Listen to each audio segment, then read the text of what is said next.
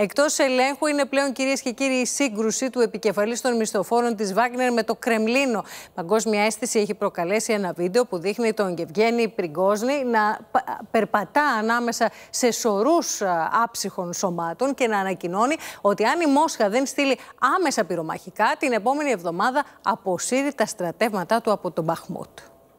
Вот это вот парни ЧВК «Вагнер», которые погибли сегодня. Еще кровь свежая.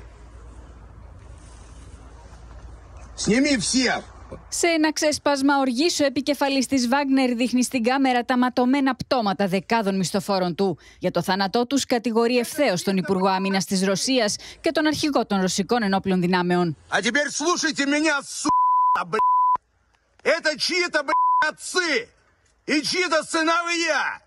И те, блядь, которые не дают нам боеприпасы, сука, будут в аду жрать их потроха, блядь. У нас нехватка боеприпасов 70%! Шойгу! Герасимов! Где боеприпасы? Посмотрите на них, су... Ж... Ο Πριγκόζιν κατηγορεί δημοσίω ήδη από πέρυσι του Ρώσου αξιωματούχου άμυνα ότι στερούν εσκεμμένα πυρομαχικά από τη Βάγνερ γιατί τον εχθρεύονται. Вы сидите, тв... в дорогих клубах. Ваши дети прутся от жизни и снимают на ютюбе ролики.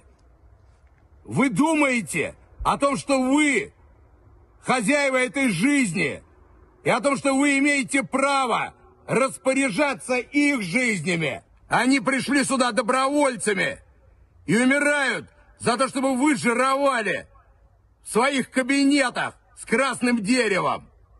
Учтите это!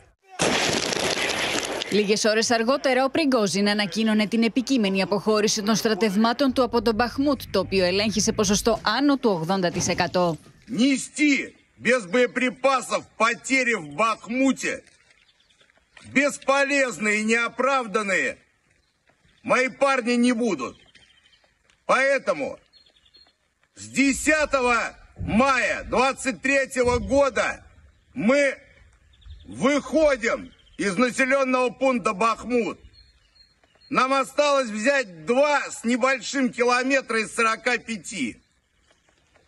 Но если по причине вашей мелкой зависти вы не хотите подарить победу россиянам по взятию Бахмута, это ваши проблемы. Σύμφωνα με τον Πριγκόζιν, οι μισθοφόροι τη Βάγνερ επρόκειτο να καταλάβουν τον Μπαχμούτ στι 9 Μαου, ημέρα εθνική εορτή για του Ρώσου, που σηματοδοτεί την ήττα τη ναζιστική Γερμανία στο Δεύτερο Παγκόσμιο Πόλεμο. Но увидев это, околовоенные бюрократы с 1 мая фактически прекратили любые поставки, чтобы не дать нам это сделать.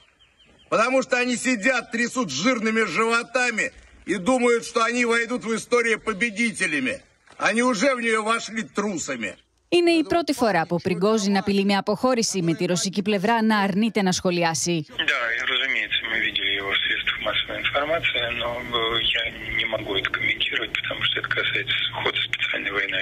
Παρόρμηση Πριγκόζιν ή απόπειρα εκβιασμού του Κρεμλίνου.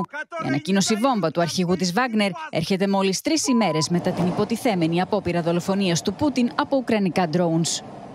Στον απόϊχο τώρα των καταγγελιών Χρήσα Τσίχλη του επικεφαλής της Βάγνερ για σοβαρές ελλείψεις στον ανεφοδιασμό, ο Υπουργός Άμυνας της Ρωσίας επιθεώρησε μονάδα υπεύθυνη για τον εφοδιασμό της πρώτης γραμμής. Είναι προφανές ότι προσπαθεί να στείλει ένα μήνυμα. Λίγες ώρες ακριβώς μετά τη δημοσιοποίηση του βίντεο με τις οργισμένες δηλώσεις του Ευγέννη Πριγκόζιν, οι ρωσικές αρχές ανακοίνωσαν ότι ο Υπουργός Άμυνας επισκέφθηκε μονάδα στην Νότια Ρωσία, όπου επιθεώρησε άρματα μάχης, τεθωρακισμένα οχήματα και εξοπλισμό, τα οποία προορίζονται για τον ανεφοδιασμό όσων πολεμούν στην Ουκρανία. Ο επικεφαλής της μονάδας, μάλιστα, ενημέρωσε τον Σεργέη Σοϊγκού ότι για κάθε δύο όπλα που καταστρέφονται στην Ουκρανία, άλλα τρία ετοιμάζονται για τον ανεφοδιασμό των ρωσικών στρατευμάτων. Με αυτόν τον τρόπο, η ρωσική ηγεσία θέλει να καταρρύψει στην ουσία τους ισχυρισμού του επικεφαλής της Βάγνερ ότι οι στρατιώτες τους σφαγιάζονται λόγω έλλειψης όπλων. Ο Ρώσος πρόεδρος πάντως φαίνεται ότι αυτή τη στιγμή έχει περισσότερο να ανησυχεί για άλλα θέματα, για θέματα ασφάλειας. Συναντήθηκε σήμερα με το Συμβούλιο Ασφαλείας της Ρωσίας για να συζητήσουν τα δρακόντια μέτρα υπό τα οποία θα διεξαχθεί η παρέλαση της 9η Μαου για την νίκη των Σοβιετικών απέναντι στη ναζιστική Γερμανία. Σε ευχαριστούμε, Χρήσα.